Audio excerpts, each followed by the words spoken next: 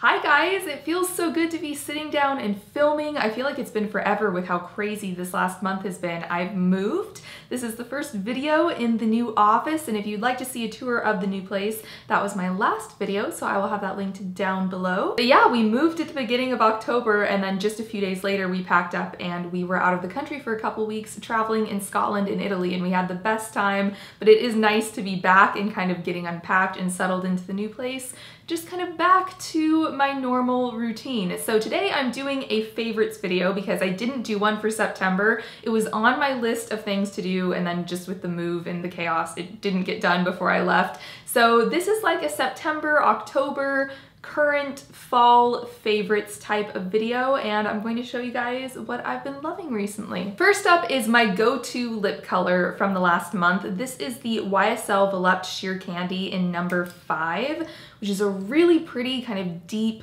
plummy red color. What I love about these lipsticks is they're more like a balm and they're sheer and just very easy to wear. It's very moisturizing on the lips. It's not too high maintenance. It's not gonna get all over my teeth. I don't need to wear a lip liner with it or anything. And these also smell really, really good. My next favorite is what I'm wearing on my nails right now. This is the only thing I've been wearing for the last few weeks. It is the Nails Inc Gel Effect Polish in Noble Street. I'm loving this color because it's a little bit lighter than the deep kind of plummy berry red shades that you see in the fall. So if you don't like those colors that once you paint them, your nails kind of look almost black or very, very dark, this one's just a little bit lighter and I think it's such a nice shade. Also, this is one coat. This polish is so opaque and because it is their gel effect formula, it really wears a lot longer than normal formulas. Next up, I have a lash primer to share with you guys. And I have to say, I have never been somebody who regularly uses lash primers. I have tried a couple of primer and mascara duos or combinations in the last six months or so that I liked, but this is just always a step of my routine that I've never felt was necessary. But about six weeks ago, I opened up a new tube of the Too Faced Better Than Sex mascara, and I've used this before about a year ago, and I loved it. So I opened a new tube and I started using this, and it worked completely differently on me. I don't know, does that ever happen to you guys where you'll use a product and you'll love it and then like a year later or however long later you'll try it again and it'll seem like a different product on you? This was smearing underneath my eyes so badly. And I wasn't rubbing my eyes or anything, it just was smearing, giving me raccoon eyes. And it was so bad that after a few days, I wanted to throw it in the trash. I was like, I can't even wear this. But I decided to try a primer underneath it. And this is the Urban Decay Subversion Lash Primer. And oh my gosh, what a difference this product has made. This mascara now does not transfer at all. And also this just amplifies this so much more. Like builds up my lashes, makes them more volumized. It's just been awesome in every way. So now I feel like I need to always have a primer now with my mascara after seeing what a difference this has made. If you are having issues with your mascara smudging or not wearing as well or whatever, I would highly recommend trying this. My last makeup favorite that I wanna share with you guys is an eyeshadow palette that I rediscovered during my decluttering session about five, six weeks ago. I filmed that. I will have that video linked down below if you want to see a makeup clear out. I was going through my eyeshadows and I pulled out my Dior Cuir Cannage, Kierkenaige, I'm never entirely sure how to pronounce that. This eyeshadow palette that I bought about a year ago. I think I bought it last fall during the Sephora VIB sale so I could get 20% off of it. This is such a beautiful neutral palette and I was really into it for about a month when I bought it last fall and then it got kind of rotated back into the drawer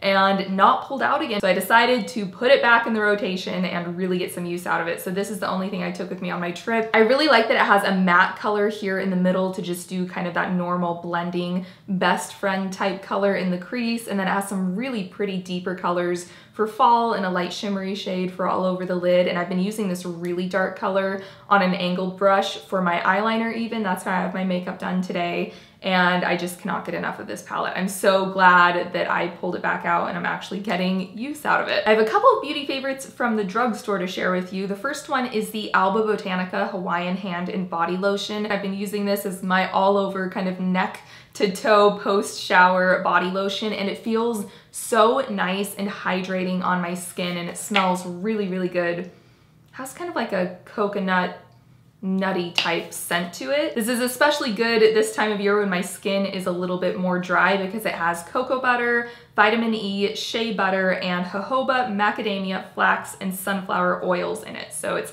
definitely targeting those drier areas. And then my other favorite from the drugstore is the Aveeno Nourish and Condition Leave-In Treatment. This is like a spray detangler for your hair. And actually, I didn't get this from the drugstore. I ordered this from Amazon Prime Now, which in bigger cities, if you haven't heard of it, it's like a one hour Amazon delivery service. So places that have a big Amazon warehouse, you like place an order and then they have a carrier. It's like Postmates. They just come with your Amazon order within an hour and deliver it to you. And one night, it was really late at night, and I think I needed like a couple of random things as well as detanglers. So I went on Amazon Prime Now and they had this on there, and I'd used the shampoo and conditioner from this line before and really liked it. So I was like, yeah, let's try it out. And it's been really good. So I use this when I get out of the shower before I've combed out my hair. I just spray this all around and it makes it a little bit easier to comb out and adds a little extra moisture. And then the last favorite I wanted to share with you guys is a tech favorite. It's an app that I discovered about a month ago when I was about to go through the move and get ready to like pack for the trip and everything. I wanted something to organize like my tasks and to-dos a little bit better than I could in my paper planner because you guys know I love my Erin Condren Life Planner. But when you're using a paper planner, you're kind of limited on space if you need to make a list of like 50 things you need to do or like everything you need to pack for a trip. So I was looking for something that I could really put a lot of information into. The app is called Wunderlist. I have it here on my iPad and if you are a list maker, this is the app for you because you can make pretty much unlimited to-do lists and then flip between them. So I have lists like for the day, like I have just days of the week and I'll add things to that, or I'll have like work to-dos or grocery lists. But the most satisfying thing is when you check something off, I'll do it right now. It dings at you. So at the end of the day, you get to go through and like ding, ding, ding, ding, ding your whole list. And it's so satisfying. And this syncs between, at least like on iOS devices, it syncs between everything. So I have the app on my phone too. So I can pull it up on my phone if I'm on the go and I can check things off there or add things. And it has been really helpful. When I was getting ready for the move, I had like all the, you know, like contact movers and and pick up keys here and turn in keys here and all the millions of things you have to do when you're moving. And then for packing for the trip, I had clothes and shoes and beauty stuff to pack and tech stuff to pack and I was able to organize all of that and it's been really helpful. So that's it for my current favorites, the things that I am loving right now. Let me know what you're loving down in a comment below. If you enjoyed this video, please give it a thumbs up and subscribe if you'd like to see more, and I'll see you guys next time. Bye!